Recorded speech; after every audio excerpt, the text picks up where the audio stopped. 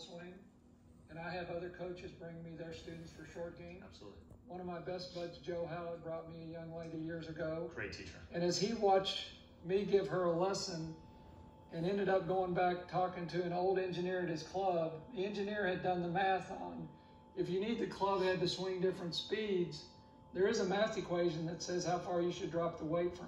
Mm. Assuming the whole dead weight concept And pendulum. this is given a parameters. This math is based on a green stimping at nine, level, hitting at 18 inches past.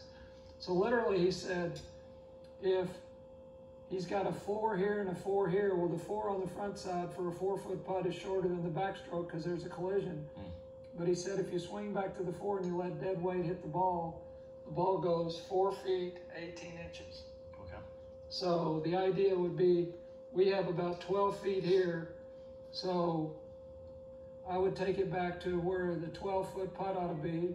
And if I let the putter swing back big enough and dropped it on the ball, the ball would go the right distance and it would stop slightly shorter on this. That makes sense. So when I'm doing clinics, I always get rulers for my students. And it's amazing when I get them to realize that the backswing length needs to be bigger and faster for a longer putt.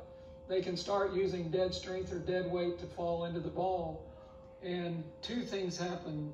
Their distance control gets better, but most amazingly, they all say they hit it more pure. Mm. Rolls a little bit different. And I think it's because when you're surging for speed at the end of the stroke near the ball, you don't have as much control over the face. Mm. And when the when the putter's actually free falling into the ball, and it's kind of in coast mode by the time it reaches the ball, it's a much purer strike.